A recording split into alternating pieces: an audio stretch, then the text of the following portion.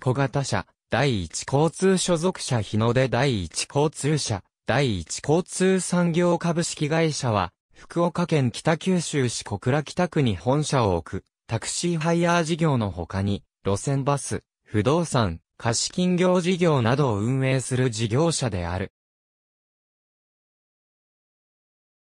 福岡証券取引所単独上場銘柄の一つで、ある。創業者は、国土市。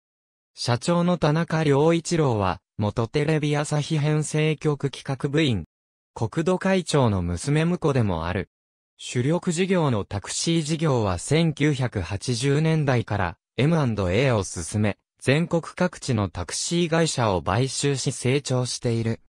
当初は、本社所在地である北九州市を中心に、九州、山口を中心に事業展開していたが、現在では北海道から九州、沖縄まで全国に事業所を持ち、グループ全体の保有台数は、業界首位の7800台に及んでいる。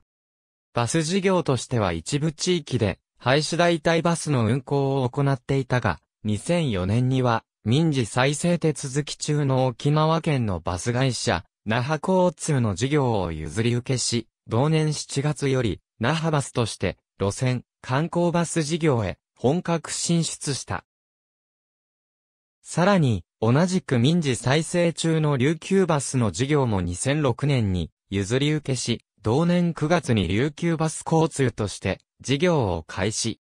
乗り合いタクシーでは2000年12月より親不幸エクスプレスの名称で北九州市小倉北区平和通駅下から福岡市中央区親不幸通り間を土日曜日の深夜に限り1日に3往復運行する深夜、定期路線形態の運行を行っていたが、2010年10月現在、この路線は運行されていない。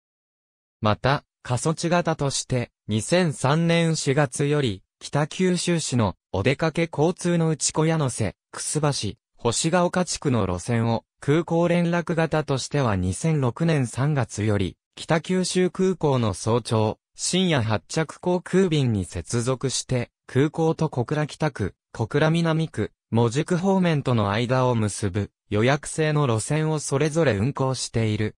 不動産事業としては、分譲住宅事業を全国14の都県で展開し、年間約600戸供給。マンション分譲では、グランドパレスやアーバンパレスのブランド名で、九州全域にとどまらず、東京都や仙台市にも進出している。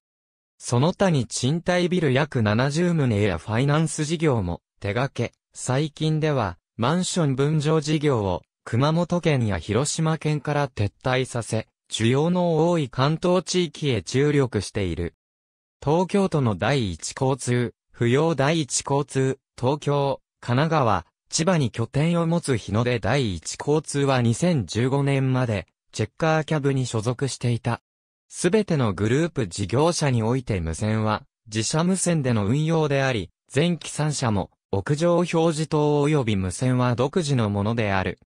2007年以降は全国にネットワークがあることを活かしたタクシードライバーが選ぶ一品クラブと題した通販事業に参入し、こだわりを中心に展開している。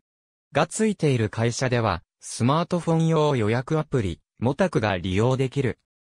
北海道、宮城県、茨城県、群馬県、埼玉県、千葉県、東京都このほか、葛飾区に、東京第一交通が存在するが、同社は、東京無線グループで、第一交通産業とは一切関係ない。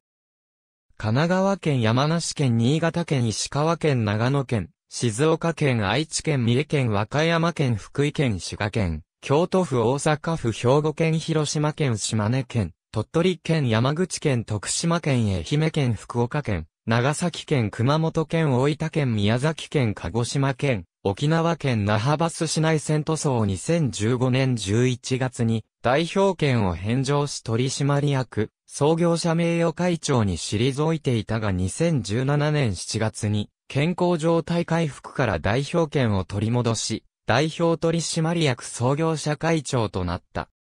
2000年12月8日2001年1月7日付、西日本新聞施設案内、hp http://hikari-terrace.015.jp ダッシュ第一交通産業、創業者宅に記念館、第一交通産業、日本経済新聞長官2018年4月6日2018年8月8日、閲覧。株式会社ユアーズの株式取得に関するお知らせ松本市に所在していた同業のアルプス交通とは資本的つながりはない。買収した当時は新規バスの関連会社ではなく、エビスタクシーの関連会社だった。買収された後も新規の名前はつくが、新規バスグループではない。会社案内、琉球バス交通ハイアーブ。ありがとうございます。